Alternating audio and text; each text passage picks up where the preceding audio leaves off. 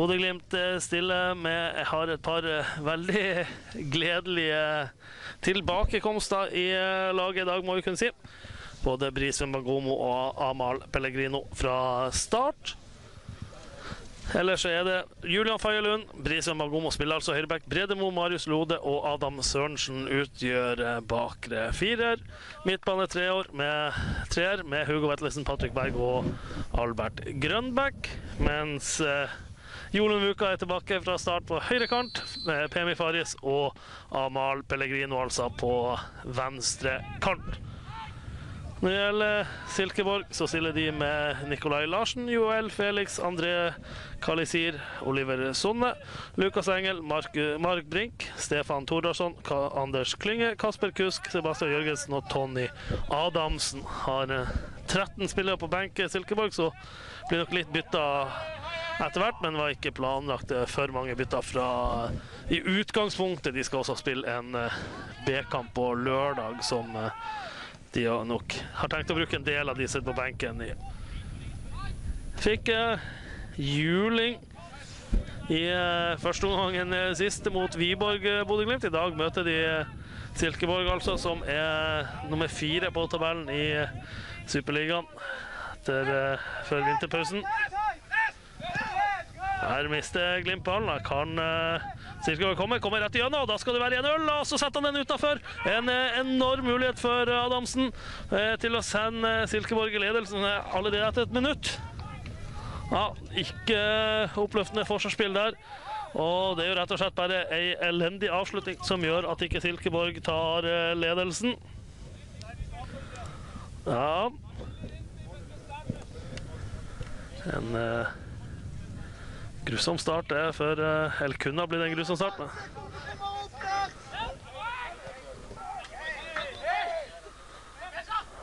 Fordel av barn til eh, Silkeborg. Litt for tøff i duellen der, eh, Faris. Med eh, Kalisir. Her er vi nå det man får med Brisveen Mangomo. Flink til å utfordre forbi ledd. Nå er det på forrige høyre sida òg. Vetlesen ut til eh, Pellegrino. Adam Sørensen doble på kant. Så blir han eh, holdt opp. For, så er Adam Sørensen nesten klar å vinne den ballen. Og det er en nesten gjenvinning. Armal Pellegrino var ikke fornøyd med at ikke han fikk frispark. Snakka litt med Jeppe Kjær før kampen. Han sier at det er et eh, spillende lag, eh, Silkeborg.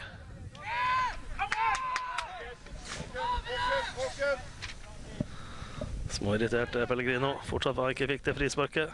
Laget et eh, frispark sjøl.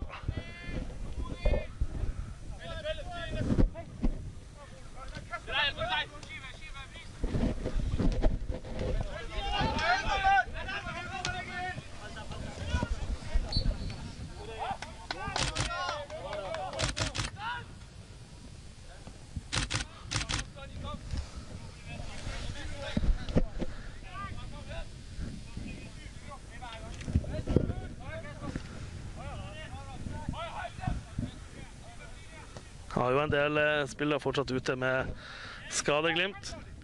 Og også noen nye på, på den lista. Isak Helstad Amundsen annet. Her er Marius Lode. Nydelig gjort. Ta med seg ballen eh, fremover. Så er Grønbæk ser den vendinga fra Albert Grønbæk inn i eh, 16. Så går skuddet via blokka ut til eh, corner. Men det er en eh, fantastisk eh, vending av eh, Grønbæk. Er rett og slett høy klasse over, og så får han aldri ei god nok avslutning.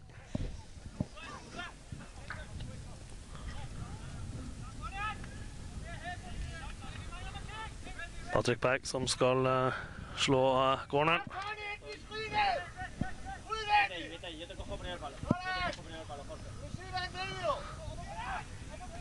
Det er Sunna. Pellegrino til eh, Grønbæk igjen.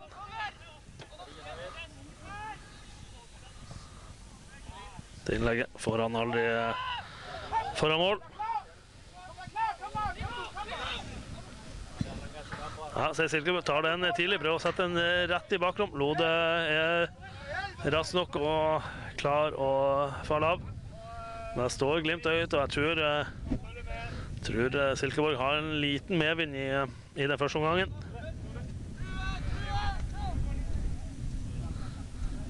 Har eh, vært mye regn i eh, siste døgnet i eh, Alicante-området her, men akkurat nå er det skinnsola. Så forhåpentligvis blir det fine forhold hele matchen. Vetlesen. Hiver seg inn i den duellen. Dommer lar spillet gå. En tøff takling. Så er det Pellegrino inn i 16. Nå på der, Svenne med corner. Ligger nede Silkeborg-spilleren.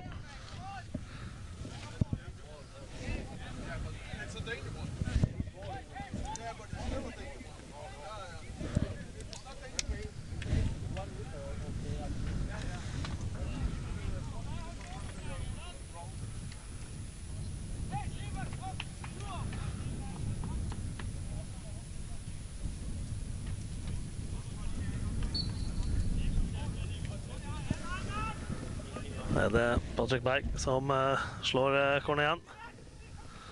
Fari som kommer på den, får eh, frispark eh, mot seg. Runar Espejord er fortsatt eh, ute før Glimt. Så det er litt av Så for øyeblikket er eh, Faris eh, førstevalg på topp.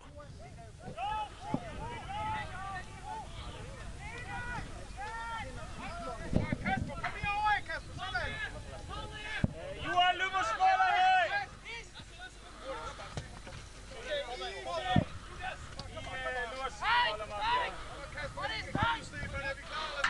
Så jeg prøver en eh, lange ut eh, på venstre.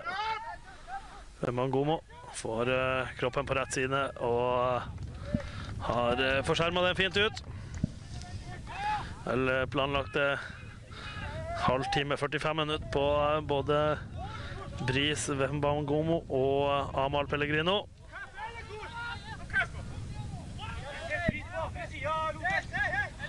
Sørensen eh, mister den. Kan eh, Silkeborg komme? Spiller fint, og så er de nesten igjennom igjen.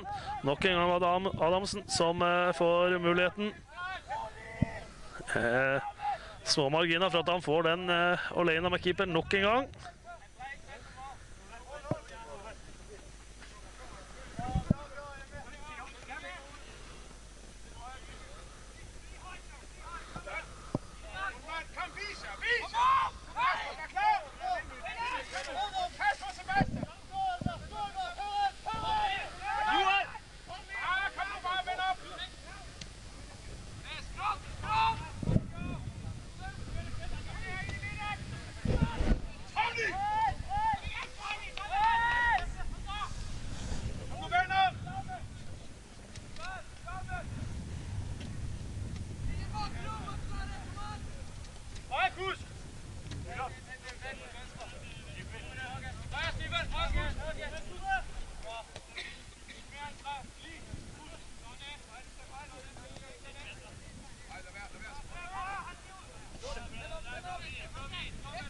Yeah.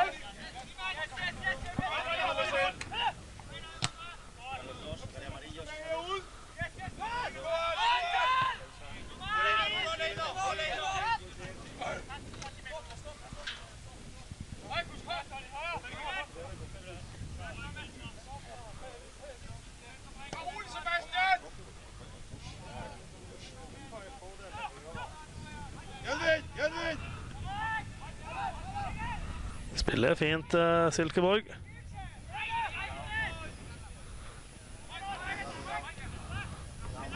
Flytter ballen eh, bra. Så er det ikke presis nok. Det skal Glimt være glad for, for nok en gang var det, var det rom der.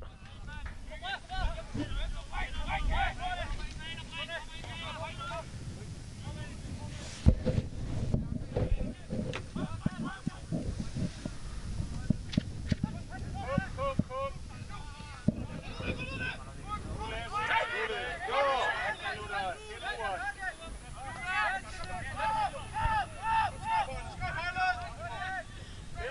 Timing, bred deg, hvor tid det er riktig å utfordre deg! Reiser hjem til eh, Bodø i morgen. Bodø-Glimt får eh, tre-fire økter på kunstgresset Passmyra før eh, torsdagens kamp mot Lech Poznan-Hansa.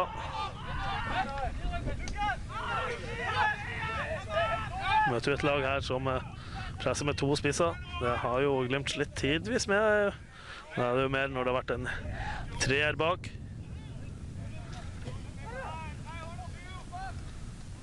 Eller en femmer.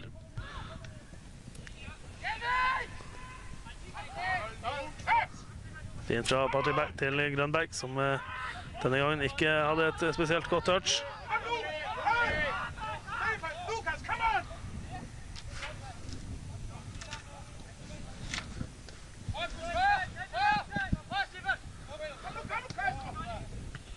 Lode tar eh, ballen med seg oppå på Sørensen. Så får eh, Sørensen tar seg til skuldra. Det er andre gang denne matchen han tar seg litt til eh, høyre skuldra si. Det er en posisjon Glimt overhodet ikke kan eh, få noe skade på backa. Bjørkan ute, røyk ut i, i forrige kamp.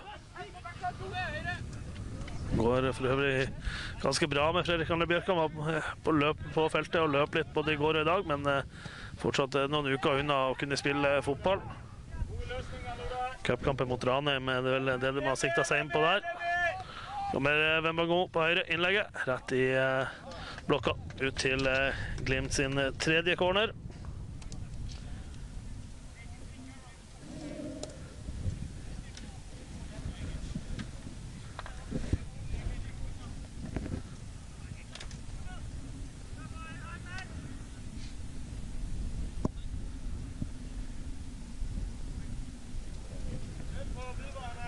Utoverskudd denne gangen fra Patrick Berg. Litt lengre i feltet. Det er fortsatt eh, kun eh, en Silkeborg-spiller. Se på den.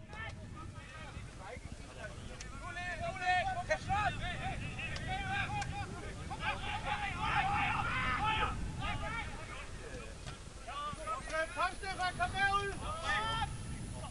Rolig, rolig! Kom on! Kom on! Her eh, PMI. Her ser vi styrken hans. Rå kraft inn i eh, 16. Smekka den hardt eh, på tvers. Men eh, klarer ikke eh, Muka få Hedda på Hedda, og da kan i stedet Silkeborg eh, kjøre. Men eh, og Orone bak. Joel! Joel!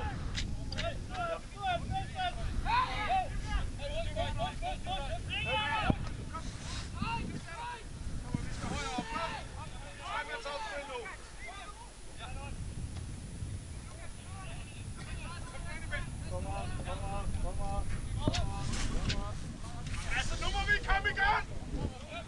Hey! Tag det nu roligt!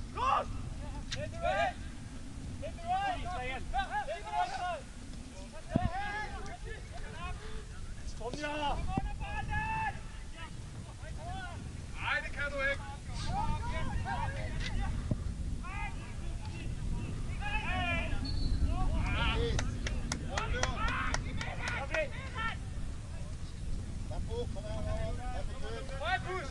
Kom on, Marlene, bred deg! Hugo, Lode keeper en eh, nydelig bakrom til eh, Pellegrino. Får tatt ned den, og får eh, en ny corner.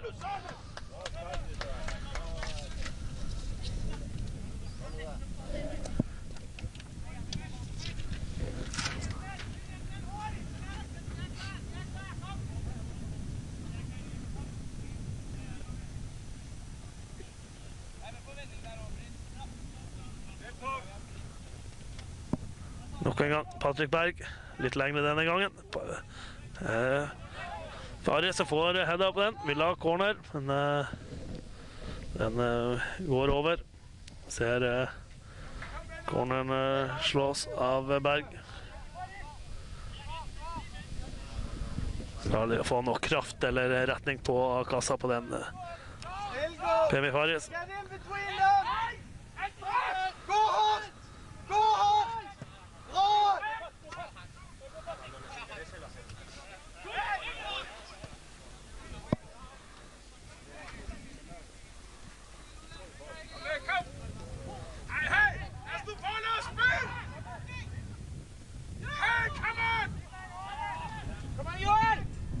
Litt upresis eh, fra Vetlesen mot eh, Muka. Har ikke sittet helt eh, på høyresida. Jolund Muka som eh, faktisk har skåret ganske mange mål på trening de siste dagene. Litt mer giftig enn man har sett han før. Eller litt lenger over.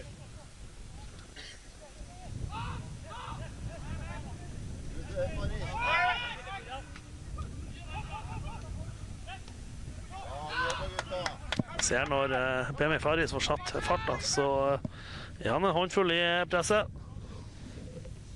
Lise, kom! Kom, Steffen, nu skal du ind i midten!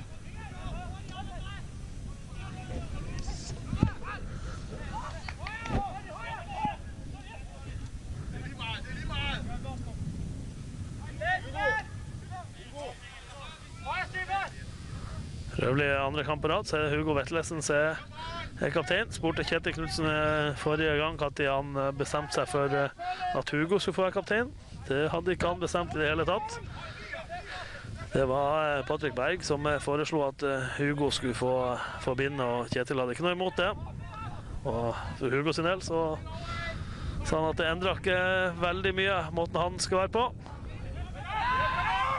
Kom nu, Søjne! Vend nu op!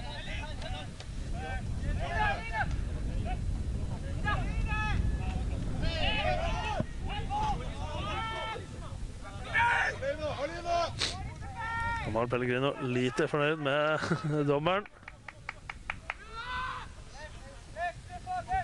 Masse rom nå, Pellegrino, men eh,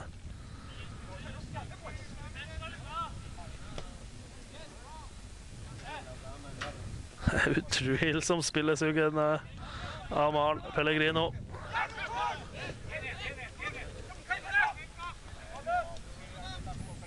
Bra gjort Adam Sørensen. Prøver vei med Faris, men uh, er ikke sikker. Returjobben er av Sørensen. Bra det.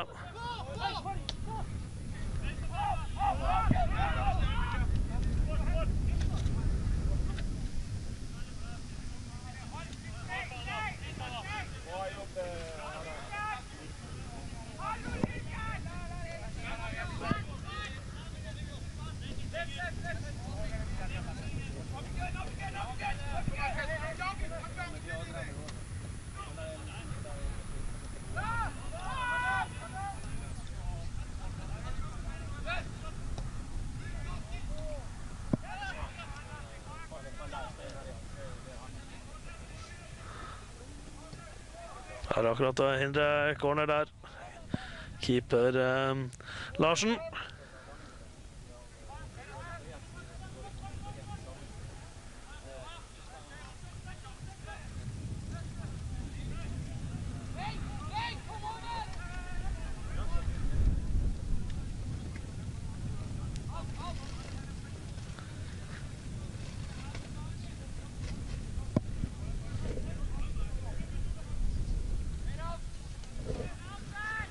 Godt press!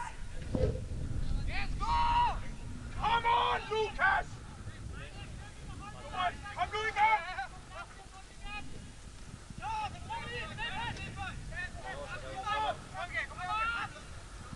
Få nye vendingsspill. Kom an, Breda! Nå er det rom!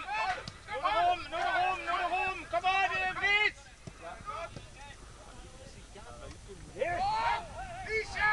Skal at Glimt skal være mer utålmodig mer, ikke ut, mer utålmodig, mindre utålmodig. Kjetil Knutsen Øran roper utover sida.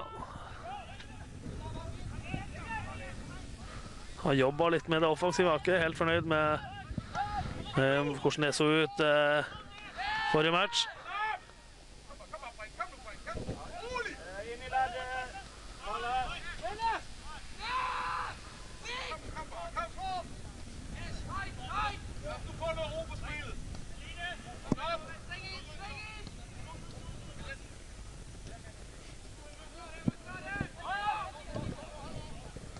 Kom op, Brink. Hold for meget.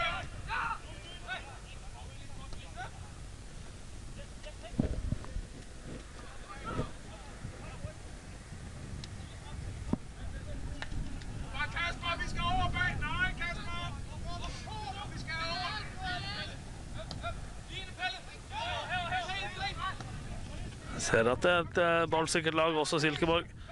Bruker ballen, flytter Glimt blokka fra side til side. Lenge siden Glimt har vært borti ballen nå. Men eh, som eh, det egentlig har vært eh, store deler av matchen. Det er siste tredjedel, der er begge lag eh, for upresise så langt. Hadde en kjempesjansen til eh, Tony Adamsen i det runda minuttet spilt. Så hadde Albert Grønbakk en eh, halv sjanse etter en nydelig vending. Ellers har det vært lite eh, å skrive hjem om offensivt.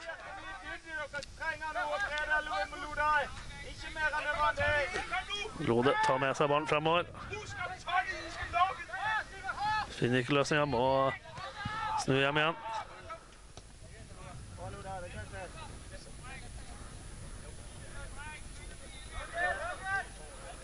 Albert. Jobber litt med å søke spiss, eh, Glimt. Har jo et eh, mer tydelig oppspillspunkt, eh, i, hvert fall i fysikk, på Paris. Så den kommer ja, den nesten at Muka stjeler den. Så bommer Wembangomo på den. Karen i stedet Silkeborg kom. Lykkes ikke med det.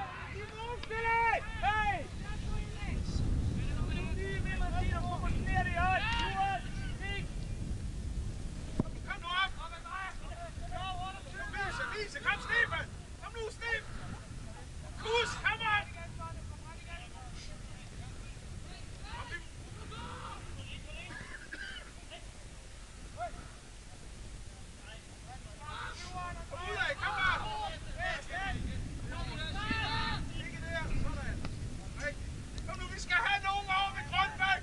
Kasper Kus, kom du på plads! Kasper, vi mangler dig herovre! Kommer en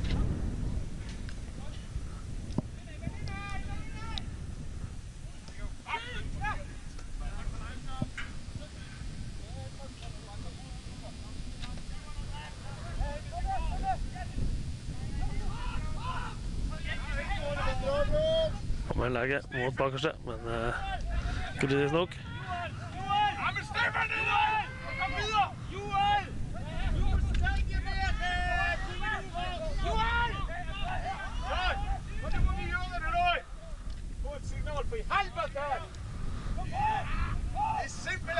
Jeg vet ikke hvor mye dere hører, men det er ikke noe tvil om at Kjetil Knutsen ikke er fornøyd med alt det de helgulle gjør. Må stenge mer eh, korridor. Og fra Feilund. Pellegrino gjør det bra.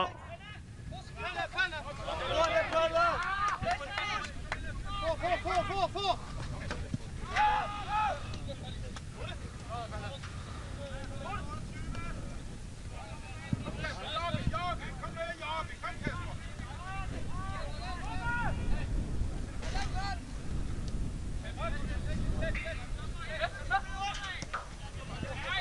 Stefan, hva var det som hendte? Ser vi bryter linje, så bryter vi linje. Det er greit det å gjøre.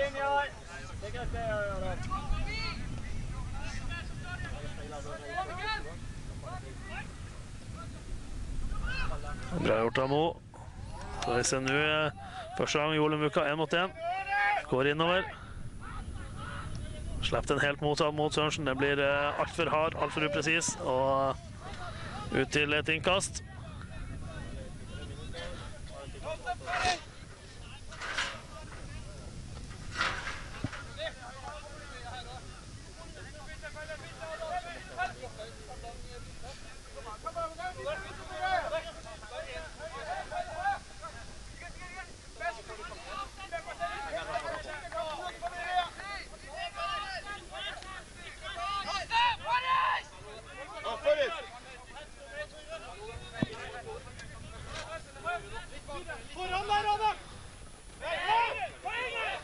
Det er vel eh, innkast der på rad som ikke ikke ble noe å si på, så blåste feilkast i min bok. Eh!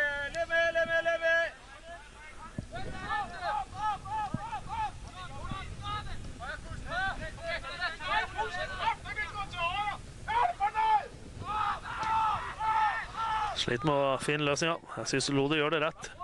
Tar med seg ballen fremover, finner ikke løsninga. Velger da å snu og i stedet for å tvinge frem ei risikopasning. Så Lo må gjøre det samme nå. Leter etter løsninga. Kjipes den i bakgrunnen mot uh, Muka. Det er Sterk ballgjenvinning av Brise Magomo. Så er det skutt fra Grønbæk rett i blokka. Lode bryter foran. Veldig bra, det.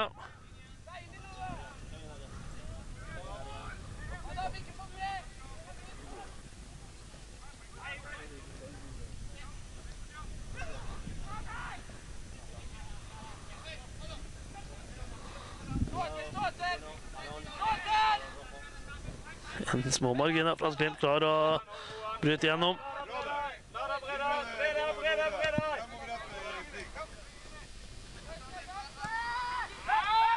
Finner Glimt litt rom. Patrick Berg ut til eh, Sørensen. Kan Glimt fylle i boksen. Så blir den en via Pellegrino inn ut i femmeter.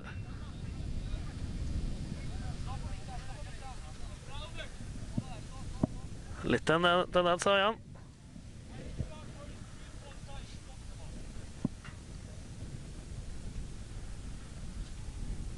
Eh, Bli der, Kasper.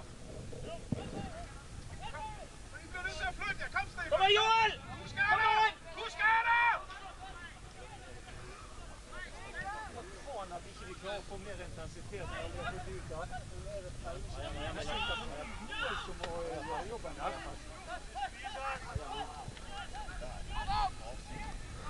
Men nu om hygge. Ja, kom nu, Klynge.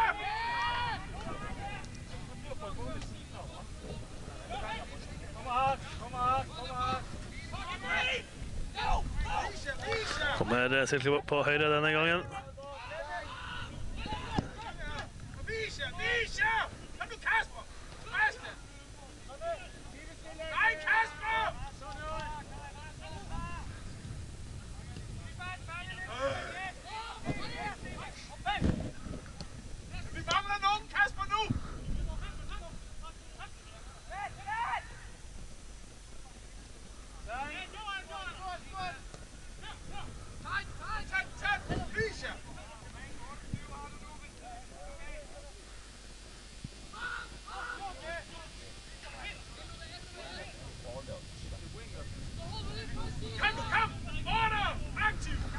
Der kommer vendingsspillet over på eh, Sånne på høyrebacken.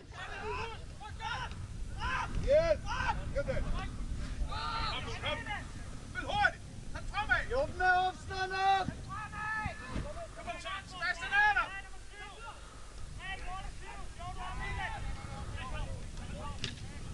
Skudd rett i blokka. Vetlesen prøver å heade unna. Ikke, ikke vanlig intensitet i, i beina på Glimt-spillerne. Da måtte jo ta ned trening. Syns jeg kan kommer eh, Silkeborg på høyre. Så skudd rett i Bredemo, som gjør en fin jobb. Da kan eh, Grønbæk sette fart. Slår den i bakrom mot eh, Pellegrino. Det er en fin ball. Må litt ut og hente den. Men det er bare Det er to mot to. Grønbæk er den som kommer etter. Er klar ikke å dra seg fri. Hadde også med seg Faris Bemi inn i, inn i feltet. Patrick Berg.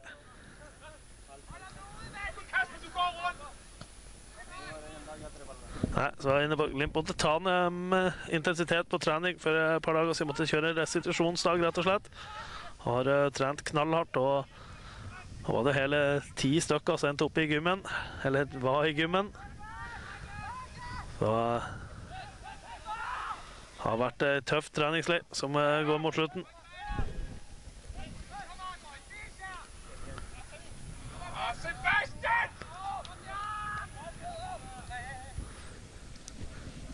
Silkeborg har en trener på benken som er stort sett misfornøyd med absolutt alt de gjør.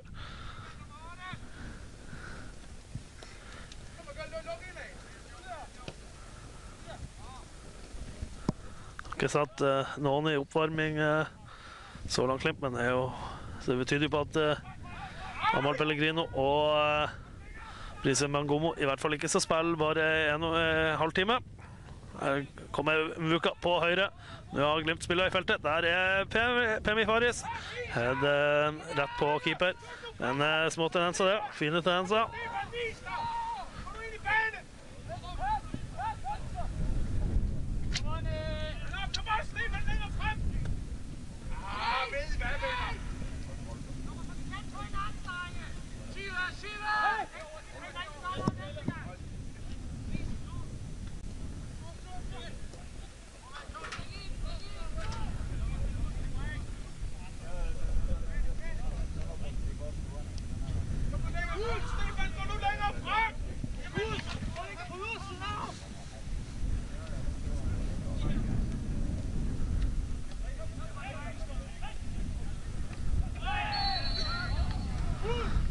Faris som er litt tøff i duellen. Blir et frispark. Har eh, advarende finger fra dommer.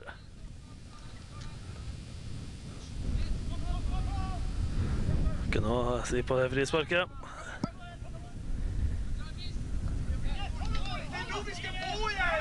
Oi, oi. Fe- Femi Faris skal sette hodet til uh, Silkeborg-spiller, men det var jo, går jo ned seg en sekk. Så vondt var det ikke.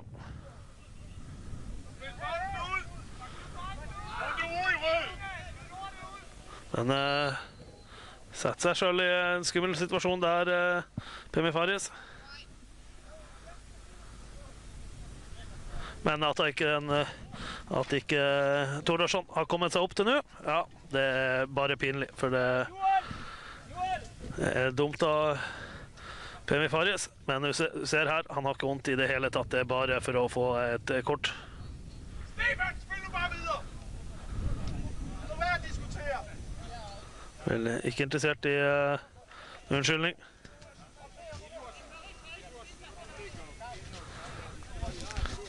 Unødvendig av Pemi Faris, pinlig av eh, Tordarsson.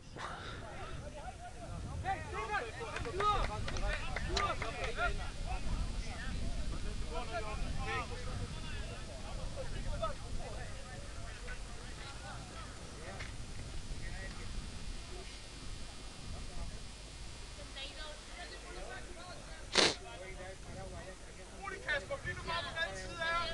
Og løb ind i rummet, hvis det er. Kom, kom, men op! Bredt, bredt. Sideveis, sideveis. Get forrest. Come on. Take the six. Kom nu så, André. Kom bare, hey.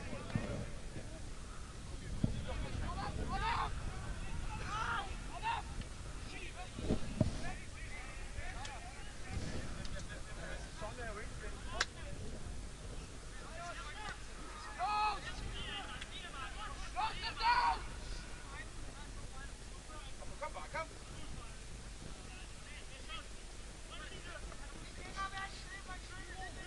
Nej, Kasper, nu er du derinde igen. Kom bare, kom bare, kom. Kom bare, Bil, kom. Kom bare, kom bare, bring nu igen.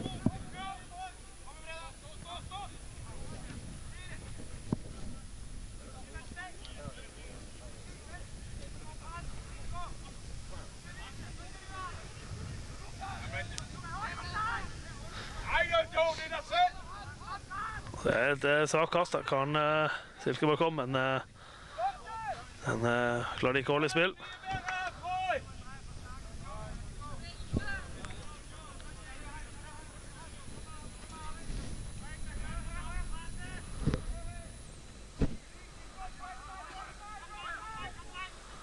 Vel ikke utenkelig at Nino Sugell og Fredrik Sjøvold skal inn i eh, pausen eh, Glimt.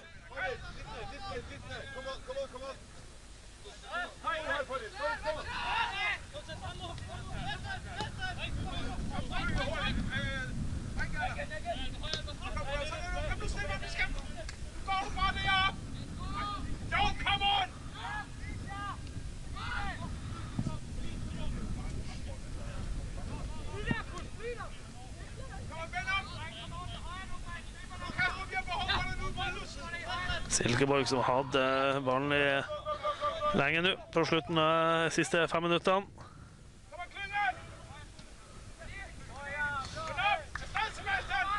Mangler noe av intensiteten på Glimt-spillerne. Det er en uke på å finne trutne bindet, så jeg kommer offside-flagget.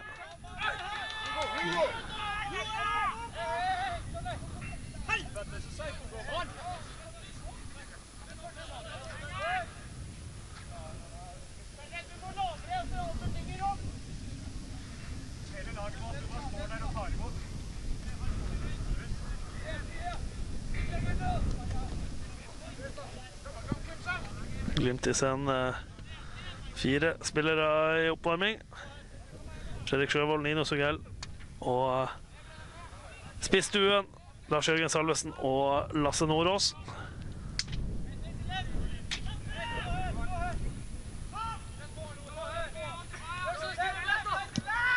Nydelig oppspill av Marius Lund til eh, Albert Grønbæk. Prøver å slippe det mot Faris. Upresist. Og så eh, Jeppe Kjær blir sendt eh, i oppvarming.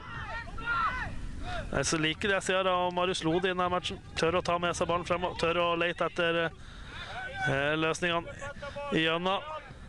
Løp alt der bare. Steng ned. Gjør det der.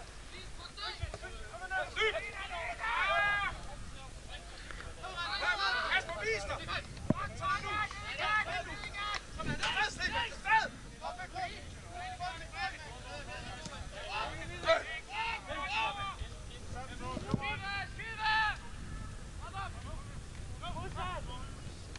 Vis jer, Kasper og Stefan! Kom nu! Det er nu, hvor I går i. Ryk fremad igen, kom og Køge! Ja, vend nu op! Veldig eh, ballsikker eh, periode for eh, Silkeborg.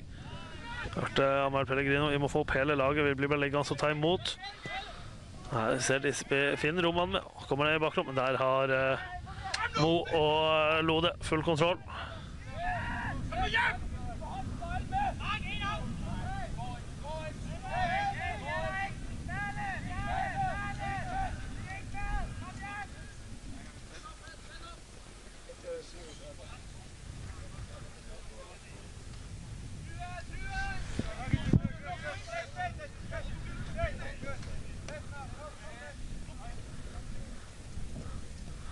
Offensivt har det vært eh, mye å rette på for Glimt også i, i dag. Og ligger skapt én eh, stor målsjanse de første 37-38 minuttene.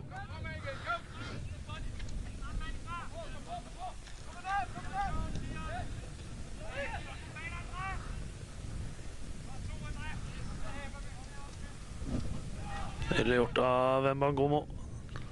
Vetlesen. Vil ha frispark, får ikke det.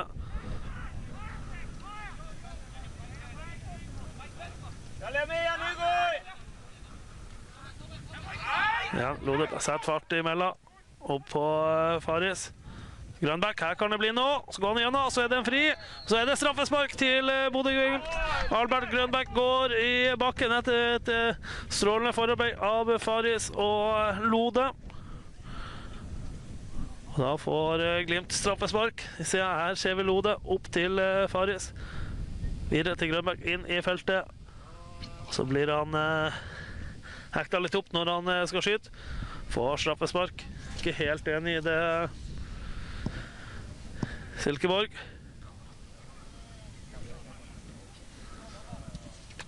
Det er Amal Pellegrino som får muligheten. Virkelig begynner å blåse opp her. Noen eh, faretruende skyer bak oss med veldig mørk. Får håpe det ikke blir for mye regn. Amal Pellegrino mot Nicolai Nikolai Larsen.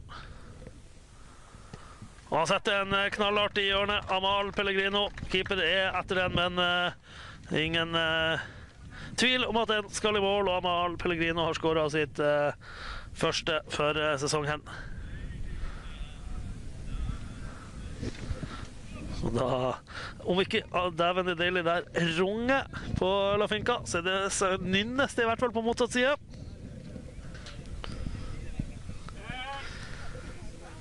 Johan! Johan! Hugo! Kanskje til å eksplodere i Skottland, så er det jævla bra.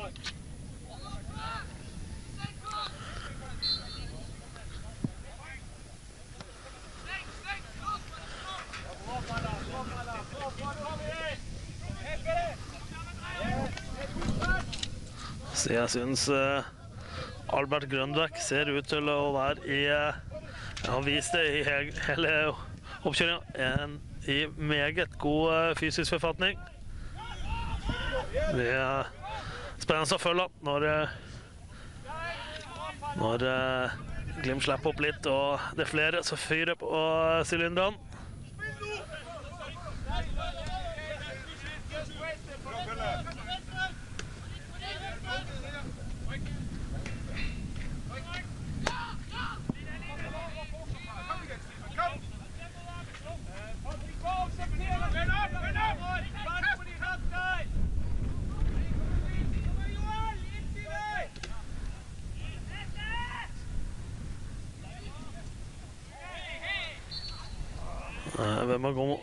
Før uh, ivrig med hendene. Frispark til eh, Silkeborg i eh, fin posisjon for å flytte opp luftskytset.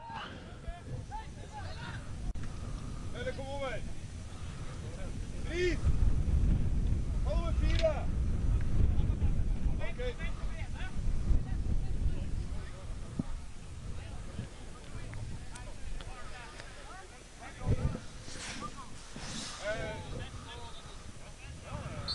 Settlinja på 16.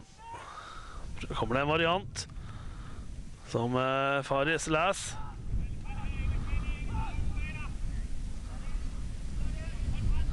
Det er en Vuka som eh, går seg i trøbbel. Hvem har god løs, det oppå Vetlesen. Se om Glimt klarer å spille seg ut. Det er i hvert fall rolig nok. Og så er det opp fra Bemagomo. Og nesten at eh, Pellegrino leser den og stjeler den. Så vinner Glimt-ballen. Nydelig av Patrick Berg. Vrir mot eh, Sørensen. Får eh, vind på sin side. Ballen spretter til Sørensen. Og så er det inn i feltet med Grønbæk igjen. Skal han dra seg fri. Og så blir han nesten lagt i bekken nok en gang. Men nok en gang skjer det nå med Grønbæk. Igjen fint av Lode. Klart eh, beste jeg har sett av Marius Lode i, eh, i vinter, dette. Må vel eh,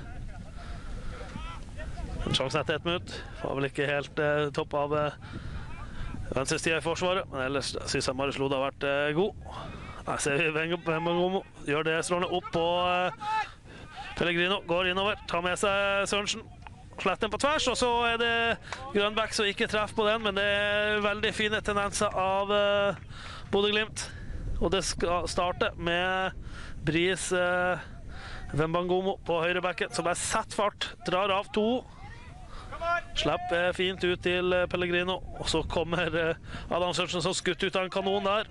Og det er bare uflaks at ikke han treffer bedre på den Grønbæk. Og hadde han bomma mer, så hadde Hugo Vetlesen stått klar bak han. Fine tendenser.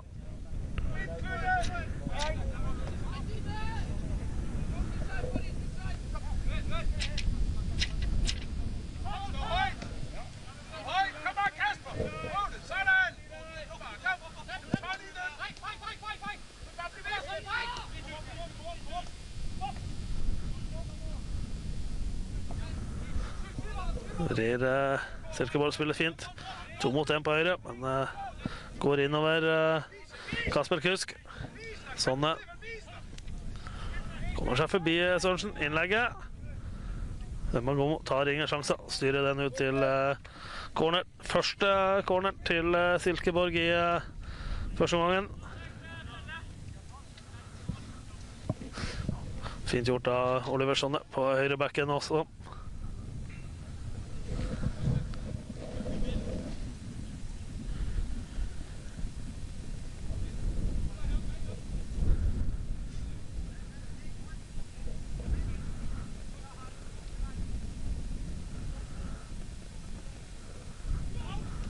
Ja, Bomme i feltet er uh, Fagerlund. En uh, lo, mo, Lode, er det det nå? da? Kom igjen! Kom igjen! For it! Kom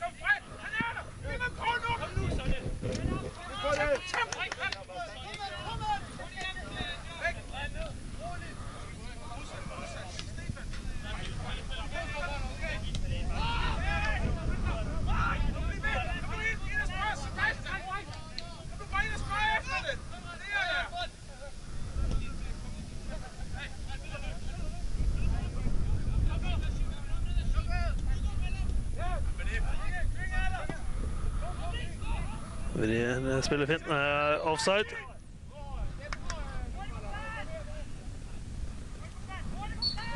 Og da blåser dommer av etter første 45. Det står 1-0 til eh, Bodø-Glimt. Straffesparkskåring av Amal Pellegrino.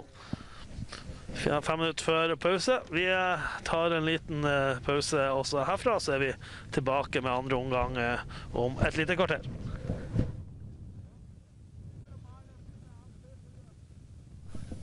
Da er vi klar for eh, de siste 45 eh, minuttene med treningskamp for før Bodø-Glimt, før alvoret starter mot Lech torsdag om ei uke.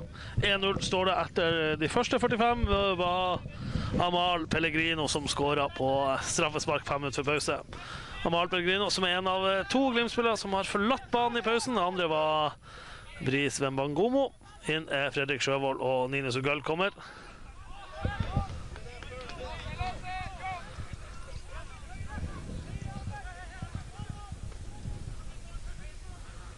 Får vi se. Glimt eh, var, det nok, eh, var nok det førende laget i første gang, selv om eh, Silkeborg viser at de er et spillende bra lag, de òg. Sjansefattig var det. Og det er 1-1 i målsjanser, og Silkeborg sin var òg ganske stor. Var ikke ganske stor, men var veldig, veldig, veldig stor, faktisk. Så her kommer man som hadde sjansen. Tonje Andersen. Men det blir stoppa. Inn eh, Vetlesen den. Her er det endelig litt plass eh, opp mot Muka. Mukka. Blir altfor lang. Ser bak målet der, så, eller rett utafor bildet, så har Glimt fått en, eh, en ny fotograf etter at Aske Kjerransen Skau var fotograf før pausen. Det er Runar Espejord som eh, gjør jobben med fotoapparatet. Det blir spennende å se resultatet på det.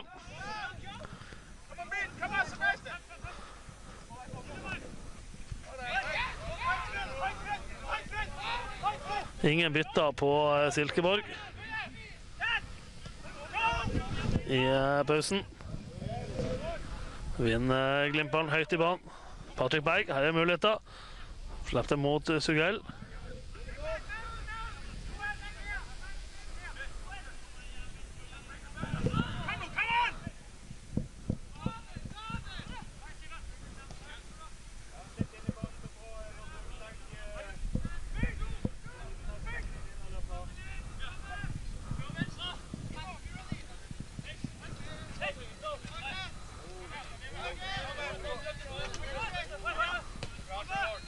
Veldig bra, Oddvar.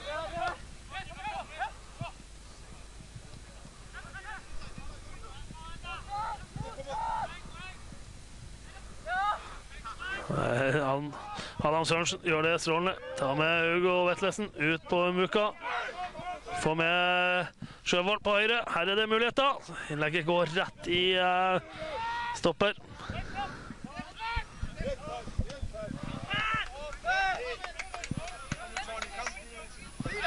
Fint, eh, fin overlapp av Sjøvold. Fint eh, kjørt angrep det av Glimt, og ikke minst den jobben Adam Sørensen gjør i forkant.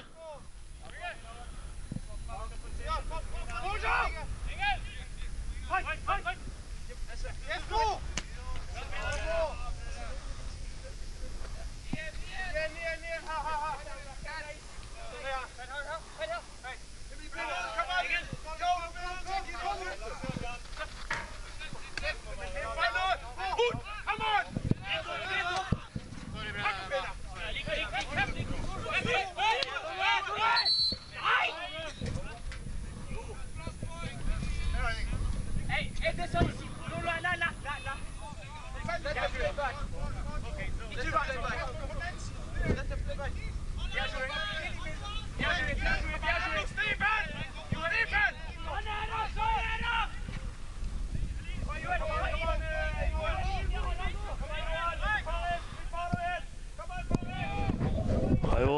Langt bedre i andre omgang. Sist eh, Glimt enn de var før pause mot Wiborg. Får se hvordan de eh, ser ut denne gangen. Det har vært eh, i hvert fall to lag som har lyst til å ha ballen, lyst til å dominere matchen.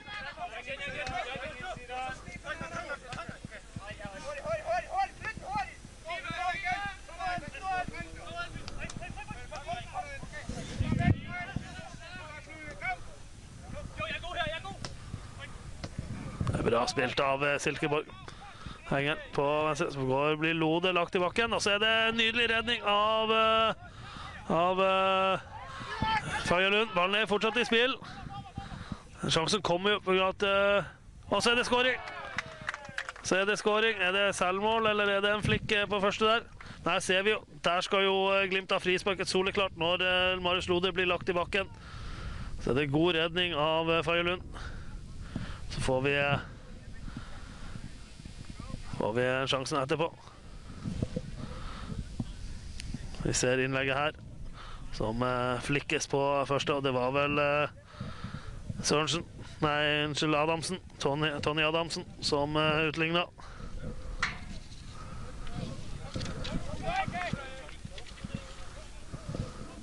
Men eh, Glimt blir snytt for et soleklart frispark i forkant. På den første, i hvert fall. Det er det ingen tvil om.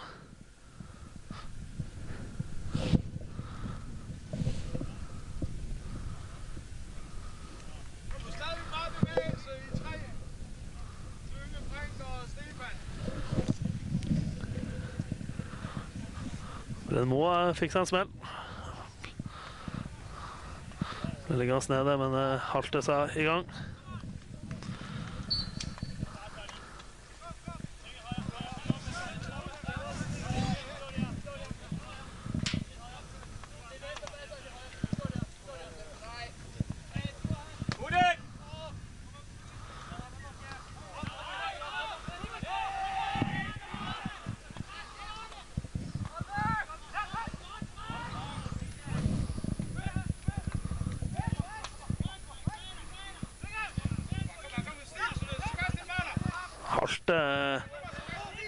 Halstad grimase av Brede Moe. Tror det fort vi får eh, inn eh, Odin Bjørtuft om ikke så lenge. Her bryter han foran. eh, Det er bra gjort av Mo.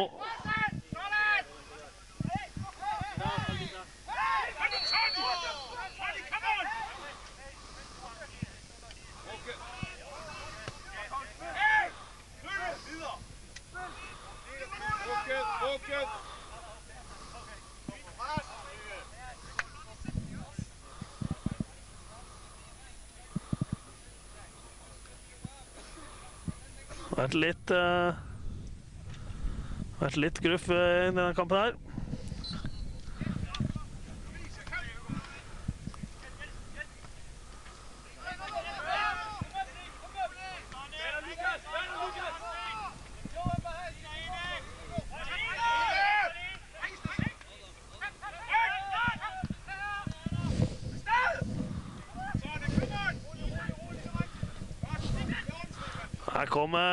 Adamsson igjen. Skudd høyt over. Og eh, meget, meget svak avslutning av eh, Stefan Tordarsson. Men en bra mulighet igjen for eh, Silkeborg. Bør jo få mer ut av den.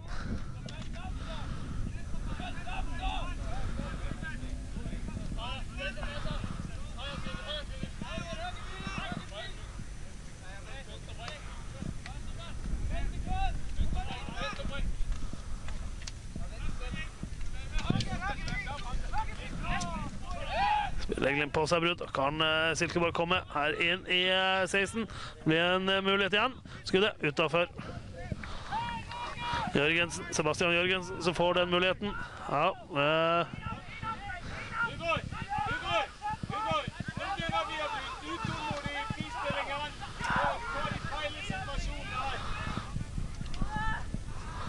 Lode tar med seg ballen eh, fremover igjen.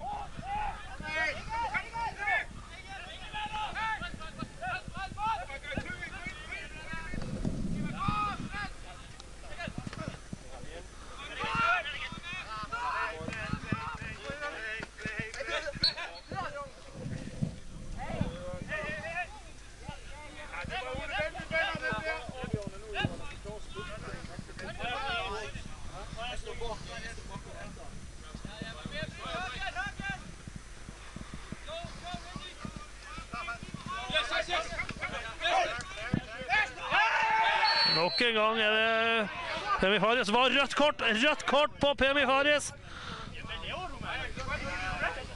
Sparket etter han. Får det røde kortet. Ai, ai, ai. Har vært flere sånne situasjoner med Pemi Fares.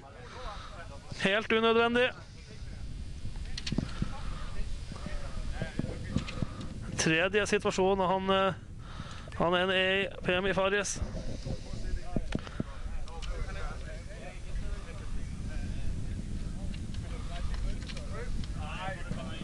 Life, it's okay.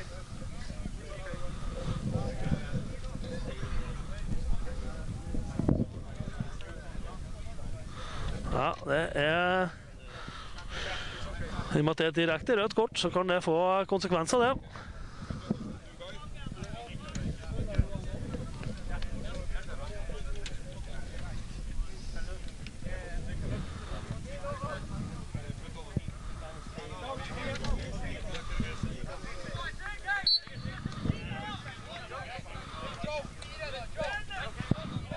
Ja.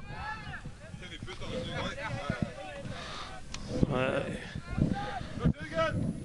Glimt får beskjed fra Silkeborg at de kan eh, fortsette med, med 11. Får vi se hva dommerne sier. Det er ikke alltid de er like enig i det.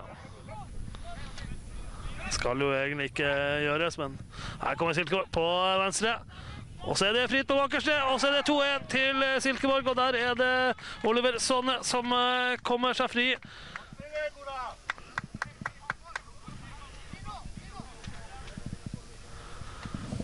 Og da er det 2-1. Sev nydelig hoppspill i midten. Slapp den inn, uh, inn bak uh, Sjøvold. Og innlegget er jo strålende. Helt på bakerste er høyreback Sonne. Kommer seg fri og løper inn 2-1 til eh, Silkeborg. Blir du med der inne?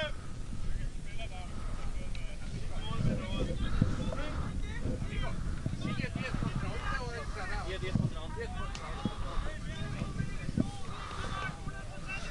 Dommerne eh, tror jeg sier nei til at de skal få sette inn eh, eh, en ekstra Glimt.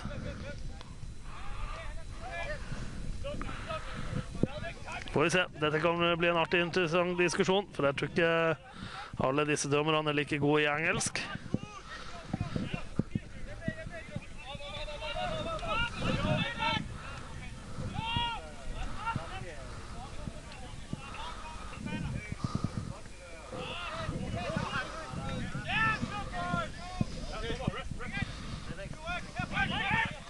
Vinner Patrick Berg den eh, strålende. Kan eh, Glimt eh, kjøre.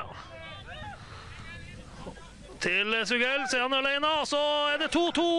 En nydelig gjort av eh, Patrick Berg. Vinner ballen, bryter fart og setter fart. Slipp den til Nien Sugell.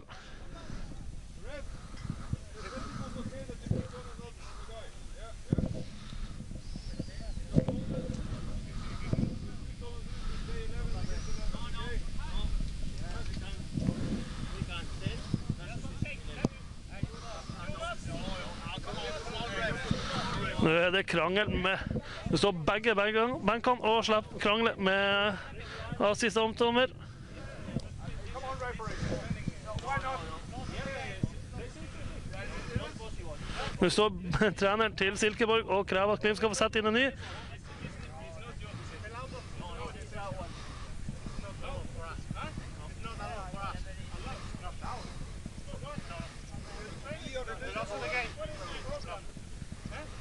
Han nekter å diskutere.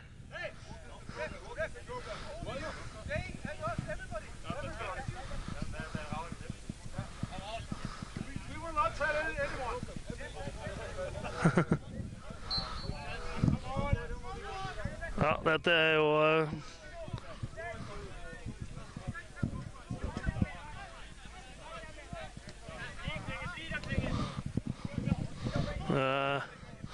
er... Vi er ikke ferdig med den.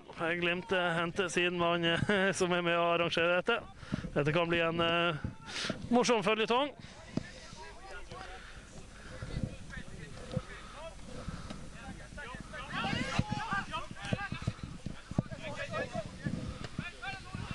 Det var uansett en meget, meget fin skåring av eh, Bodø-Glimt. Skapes av Patrick Berg. Kommer eh, Silkeborg. Målskårersone. Innlegg på bakerste. Klarer å holde den i spill. Vetlesen mister den. God takling. Blir corner.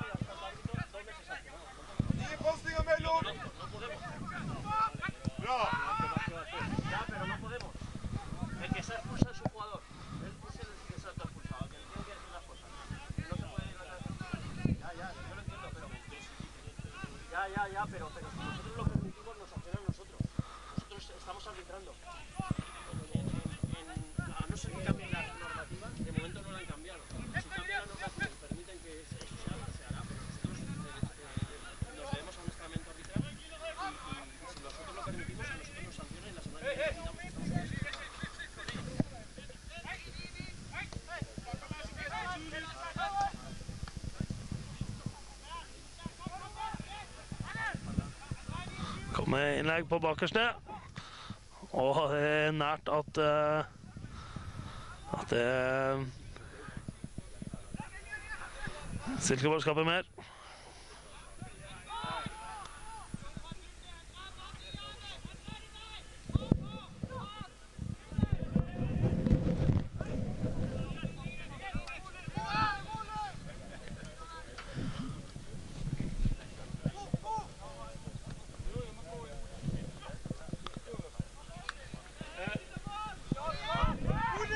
Det er nok, Hold den!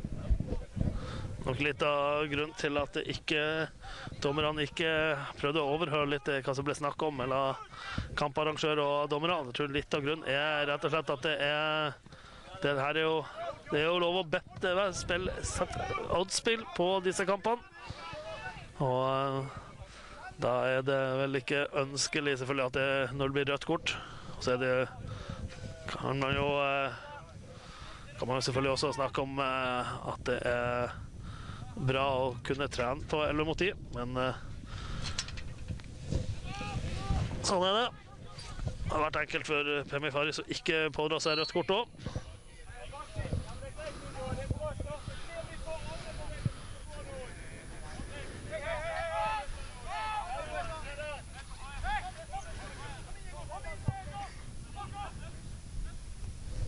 Skal han i hvert fall eh, Odin Bjørtuft og Lars Jørgen Salvesen inn. Nå må vi jobbe med å stenge, stenge, stenge! Aksepter de spiller foran òg!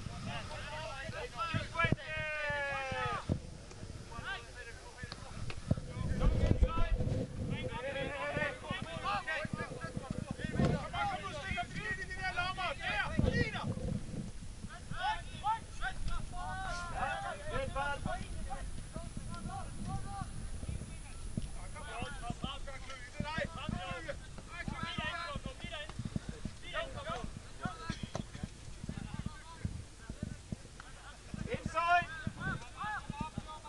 Håper at uh, Arne Bredemo spilte en stund etter det han fikk den smellen på 1-1-målet. Han var ute og sa fra at han hadde vondt. Igjen kommer det inn bak Sjøvold. Har hatt eh, trøbbel med rommet bak seg sjøl, eh, Fredrik Sjøvold. Nei, stygg feil av eh, Grønbæk.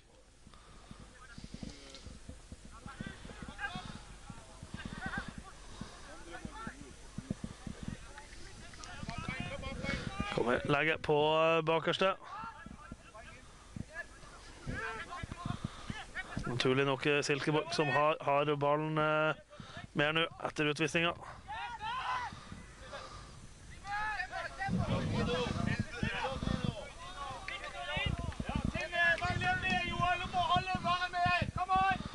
Ligger en 4-4-1 nå, eh, Glimt.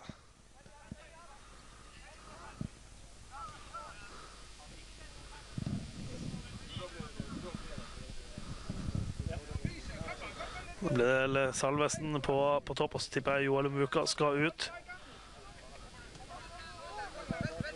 Hvis ikke det er Patrick Berg som uh, nøyer seg med en god time i dag. Har slitt litt med beina siste dagene. Og så Berg.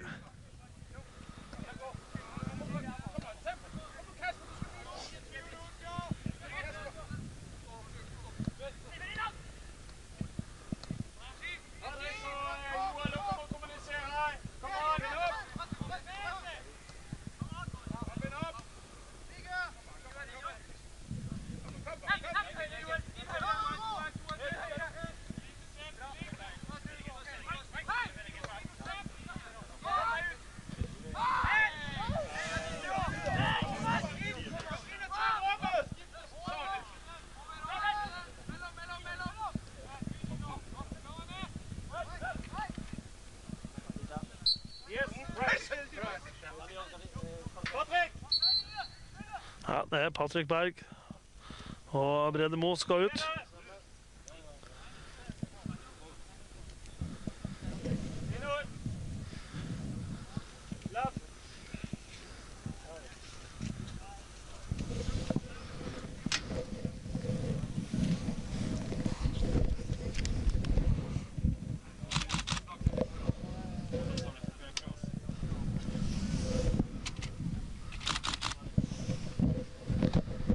Er Bjørtuft og Lars Jørgen Salvesen som eh, kommer inn, så dere ser. Morten Konradsen gjør, Morten Ågnes Konradsen gjør seg også klar.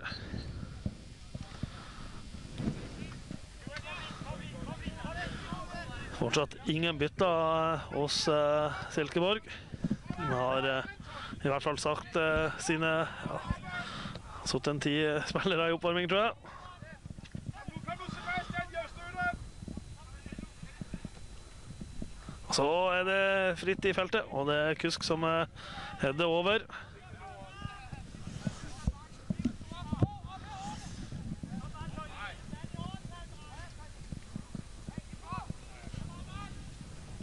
Salvesen gjør det bra. Han eh, nesten at eh, får den med seg Sjugel.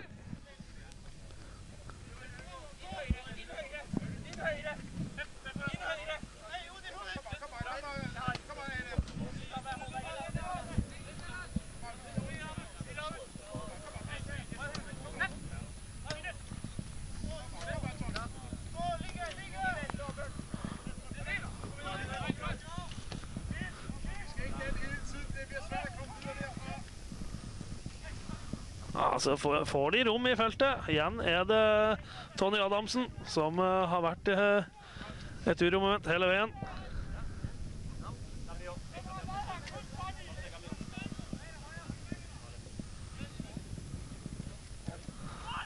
Står høyt i presset nå, eh, mener mer eh, Silkeborg.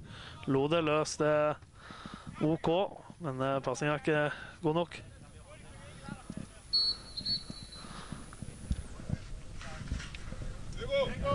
Er det Hugo Vetlesen som eh, går ut. Så skal Morten Ågnes Konradsen spille siste 21 minuttene.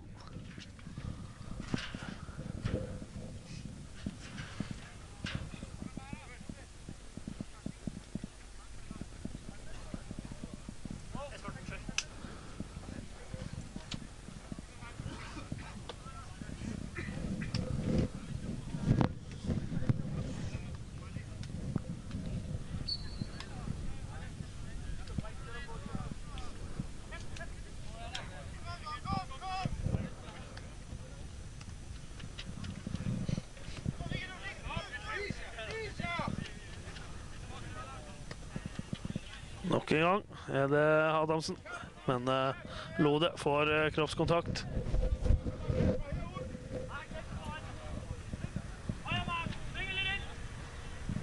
Så han Glimt vel å slå litt langere opp på eh, Salvesen. Igjen gjør han det bra til Grønbæk. Kommer Muka fra offside.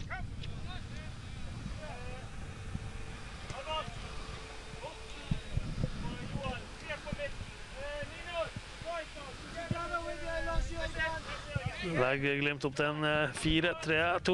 Joel Mvuka Albert Grønbæk og Morten Konradsen sender trall på midten.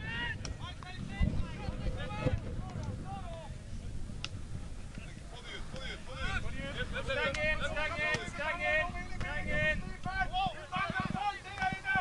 Se han chocan los dos, eh. Los dos, los dos. Se chocan los dos.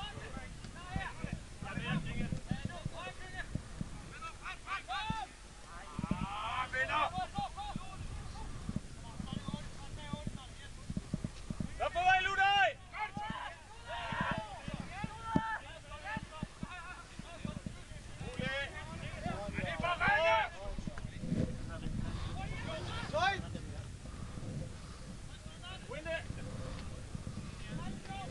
Lode som har tatt over kapteinspinnet etter eh, at Vetlesen gikk ut.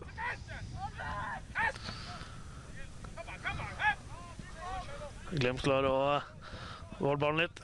Ta med seg Fredrik Sjøvold. Oi. Et eh, fantastisk godt dårlig mottak som gjør at han får den med seg.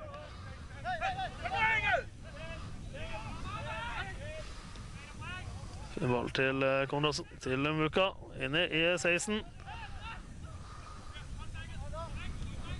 Sugell som altså skårer igjen. Jo, som han gjorde mot Wiborg.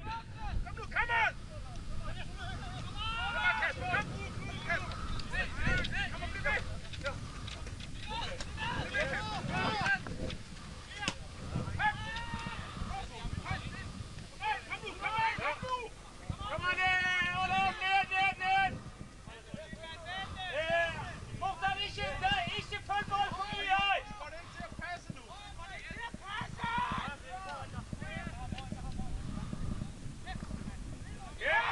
Det er Nydelig gjort av Fagerlund Lund og Konradsen. Spiller seg fri. Nei, så lykkes ikke Muka med touchen. Der er- vært en kjempemulighet, og der ser tre mot tre andre veien. Silkeborg som eh, opp mot 16. Slipper gjennom til Adamsen. Se Odin Bjørtuft og gjør en eh, bra jobb. Skal eh, Silkeborg gjøre tre bytter, ser det ut som. Mats Kålund skal inn. I hvert fall. Så hadde vel eh, Pelle Madsson. Så har de en uh, nummer 44 som de gikk og førte opp på sin egen liste på, eh, på laglista Silkeborg.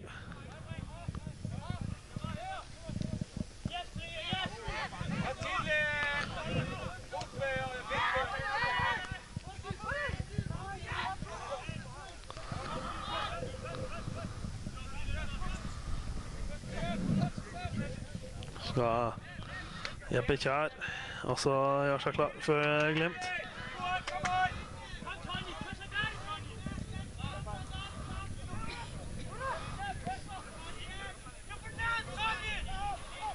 Upresis fra Lode.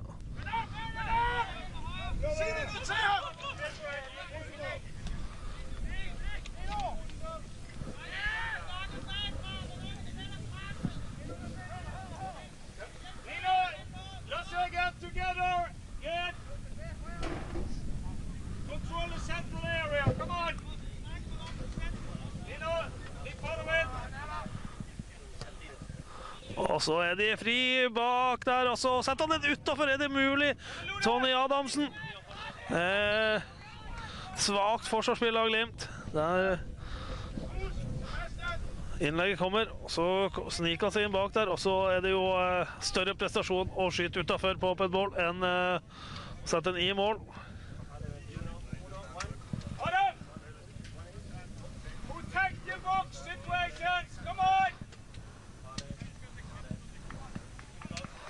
Og så eh, Søren Tengstedt kommer inn for eh, Silkeborg.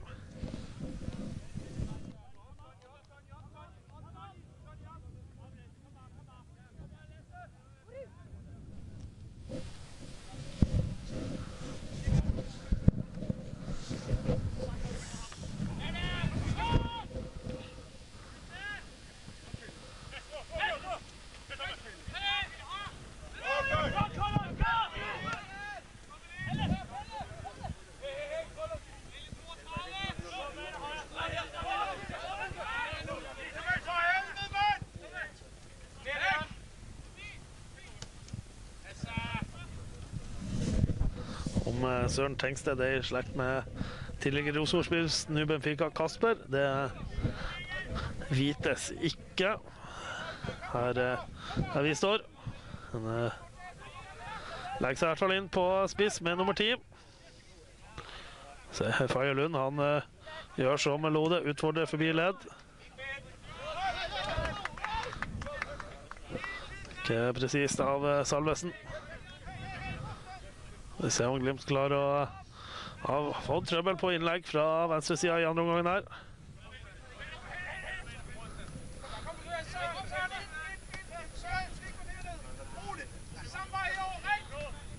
Hvor Glimt også skal, eh, som var inne på i sted, inn med Jeppe Kjær. Se om det er Jolund Vuka som er ferdig spilt av.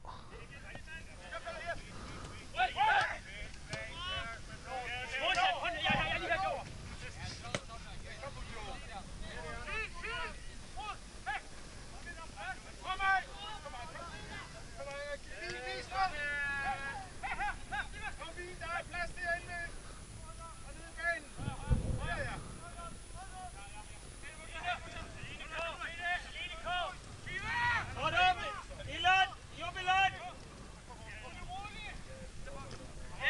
En god takling av Grønbæk. Ja vel.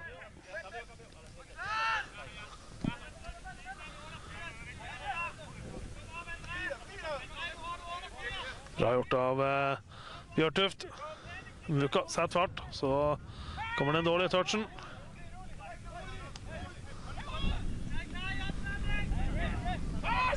Lode får inn ei takling.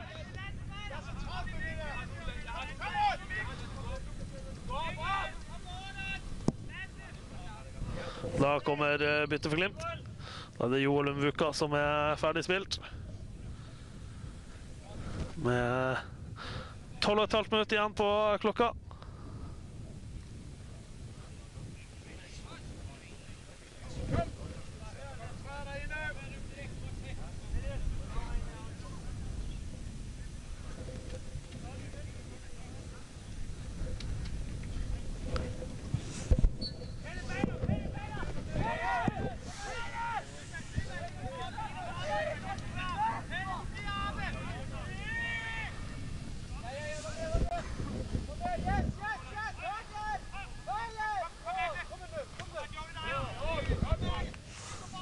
Fortsatt å spille seg ut bakfra Glimt.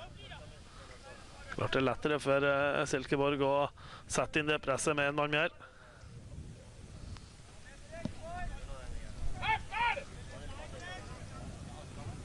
Får den lang opp mot Salvesen. Den kommer til å gå over Salvesen. Men eh, det er en vanskelig jobb å komme inn som spiss eh, med en mann mindre.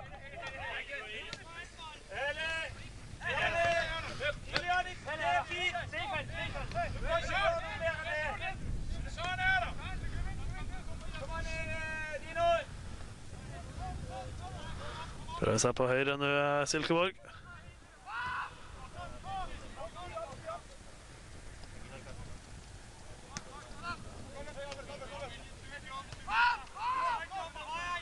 Steven her, da. Men opp. Kom, Pelle, kom her inn. Inn med ballen. That's okay. Together. Come on, there, Lars Jørgen. Come here. Goes inside.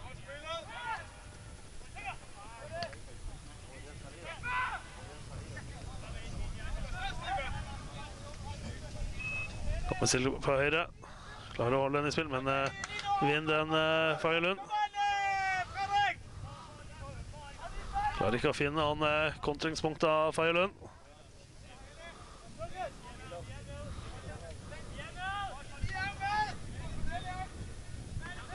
Opp mot uh, Salvesen. Det gjør han bra. Men klarer ikke å få gi den til en gul. Sånn Samtidig skulle jeg gjerne ha sett at uh, en spiss kunne ha gått så kraftig i ryggen på en stopper uten at det har blitt eh, blåst til frispark.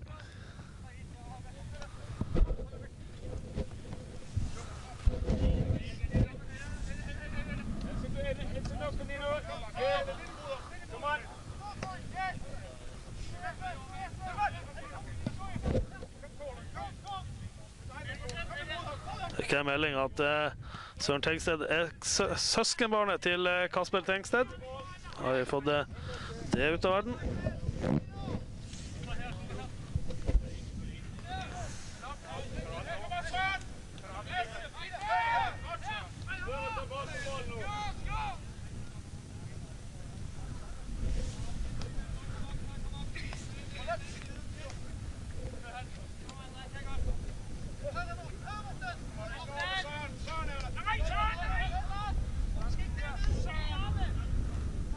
Inne i eh, siste ti minuttene. Får se om eh, han har et eh, mål til i denne. Her kommer eh, Tengsted på høyre. Masse folk i boks, og så går den forbi alt og alle. Så slås det inn på nytt. Der er Sjøvold. Lode får klarert. Er Grønbæk. Se, se den teknikken. Foran eh, frispark. Eh, Strålende jobb av eh, Albert Grønbæk.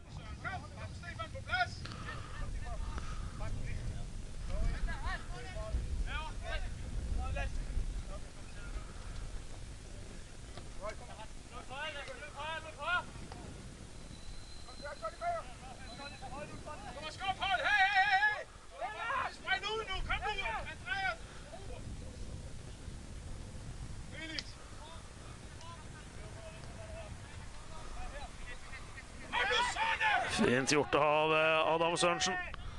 Altså, så les eh, Les i spillet der, i stedet for at eh, Glimt får eh, vendt line. Så det var Matsson som skjønte hvor eh, Adam Sørensen ville med den ballen.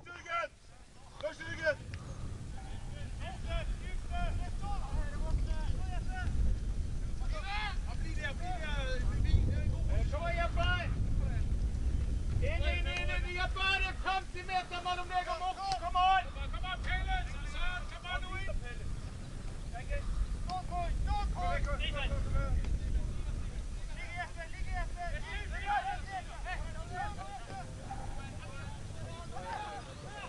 Hold den! Bra gjort av Jeppe Kjær. Vinn den.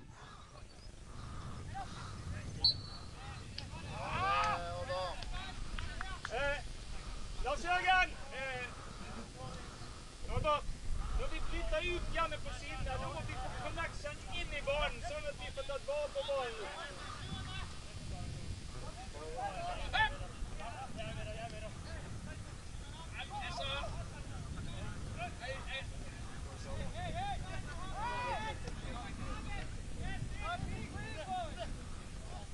Kom nu, kom nu, kom nu! Find ud af, hvornår! Op! Hop, hop, hop, hop, hop! Kom, kom, kom!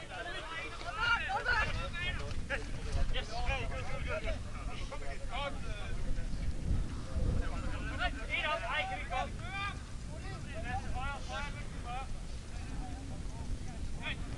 Kom nu, kom nu, kom nu! Søren, du skal også være med! Kom nu, Søren! Så gør det da! Kom nu, Søren!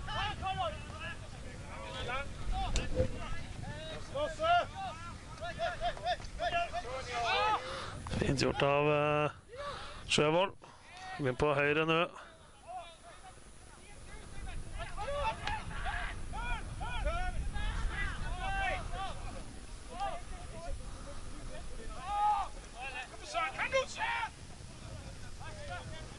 Det er det stikkfeil av uh, Sugell. Men uh, Glimt vinner ballen tilbake igjen. Morten Konradsen tar med Sjøvold. Lasse Nord også for øvrig på vei inn for Glimt.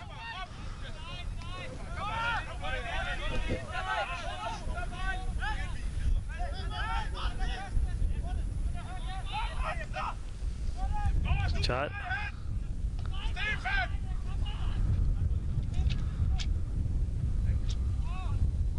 Glimt som eh, har eh, ballen litt.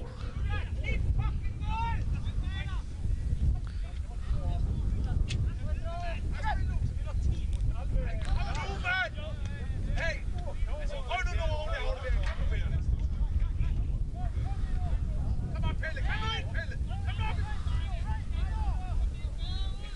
Følg med! Følg med! Tag top. Steng! Steng! Nej, kom, kom on. Silkeborg på venstre venstre Storm er ikke i heller nå. Kom derover, kom Stefan, kom Stefan med! Tenemos con el culo a las paradas.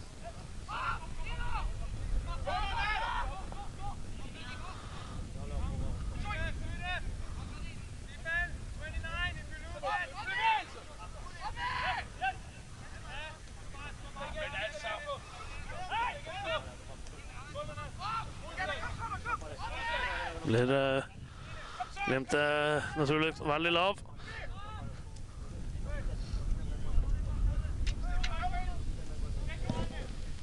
Fire minutter igjen. Bruker ikke å legge stille noe i kampene her, så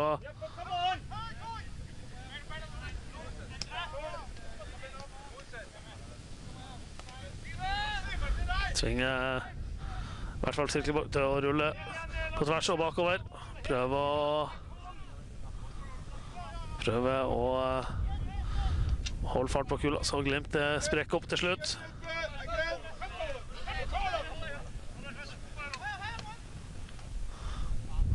Adamsson, der skal han få trøbbel. Og møter Lode til eh, ren løpsduell. Tar Glimt ut. Tar Glimt ut eh, Albert Grønbæk. Nå er det Lasse Nordås og Lars Jørgen Salvesen på topp, og Ninus og Grell ned i midtbanen.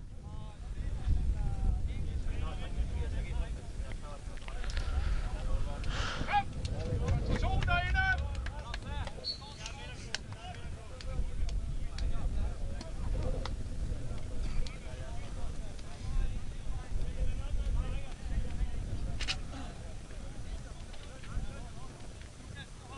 Kom igjen nå. Riktig, junior! Hjelp Pelle! Stusset den, og ikke langt unna at den eh, kan bli skummel.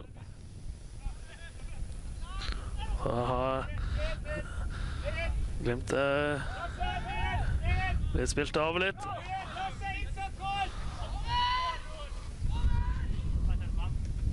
Yes. Kom an, Jaffer. Eh, Løp sammen. Lenger ned, eh, Lars Jørgen.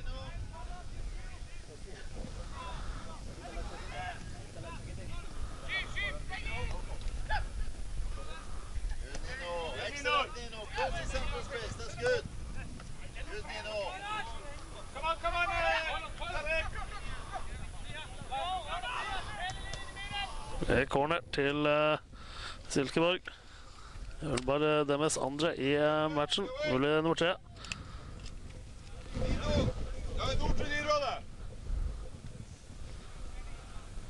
Northug! Northug! Northug!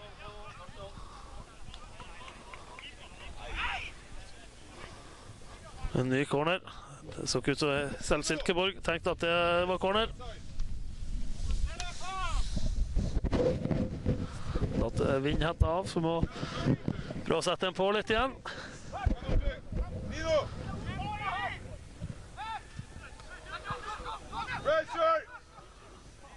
Her er det muligheter. Kommer skuddet rett i blokka. Glimt er ikke eh, organisert. Innlegg. Lasse Nordås på bakerste. Gjør en fin jobb. Tvinger Silkeborg bakover. Og så er det et dårlig mottak, og er faren over for Glimt der idet vi er inne i siste spilleminutt. Mister Konradsen den. Da kan det bli farlig allikevel, og så går den eh, bak. Så vi ser om Glimt eh, velger å kjøre en overgang. Nei.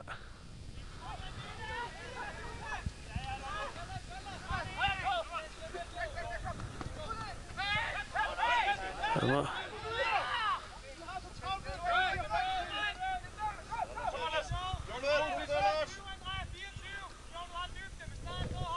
Legge. Og så er neste. Og så redning av eh, av uh, Fagerlund. Roa ned nå. Vi ser om eh, det blir noe tillegg i dag. Ja, faktisk. Han blåser ikke med en gang, i hvert fall. Og på Nordås. Klarer ikke å ta den.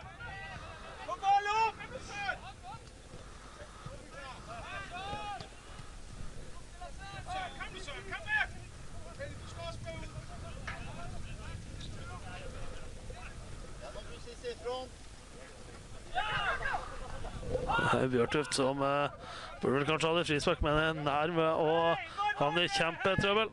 Vil ha den lange, for det mener mann, mann på topp.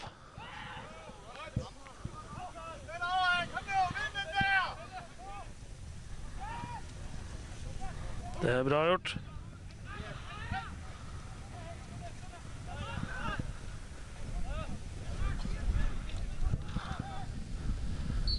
Der eh, blåser dommer av. Det ender 2-2 i siste treningskamp for Bodø-Glimt før de møter Lech. Skåring av